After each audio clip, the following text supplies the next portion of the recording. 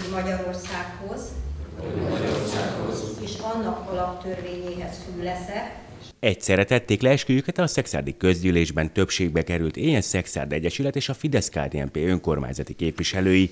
Ezt követően Ács Rezső Szexárd újra választott polgármestere is esküdtett. polgármesteri tisztségemből eredő feladataimat Az eskütételek után az előzetes kiírás szerint az alakuló ülésen téma lett volna a bizottsági tagok, valamint az alpolgármesterek megválasztása, ugyanúgy, mint a szervezeti és működési szabályzat elfogadása. Ezeket viszont levették a napi rendi pontok közül a képviselők.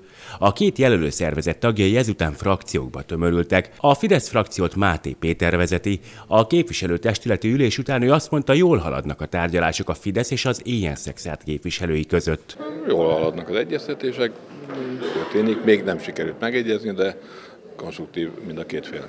A közgyűlés után szerettük volna megkérdezni Bomba Gábort, az ÉSZ frakcióvezetőjét is arról, hogy ő hogy látja, milyen ütemben haladnak a két fél között folyó tárgyalások, de nem akart nyilatkozni. Ács Rezső Szexárd polgármestere szintén a közgyűlés után is arról beszélt, hogy a tárgyalások folyamatosak a Fidesz és az ÉSZ között, és ők attól sem zárkoznak el, hogy mindkét jelölő szervezet alpolgármestert állítson. Jelenleg hatályos SMS az kettő alpolgármesterre enged lehetőséget, vagy, vagy, vagy biztosít lehetőséget, hiszen ez most már lassan 2007-8 óta működik az SMS, és annak idején ugye a polgármester mellett dr. Hagéva és én voltam ketten alpolgár, vagy voltunk ketten alpolgármesterek, most tulajdonképpen ez a lehetőség meg lenne, hogyha így dönt a többség majd, hogy mind a két oldalról legyen egy, egy alpolgármester jelölt, azt is természetesen el tudjuk fogadni. Az ünnepélyes alakuló ülés után rendkívüli közgyűlést tartottak, amin öt napi rendi pontot tárgyaltak.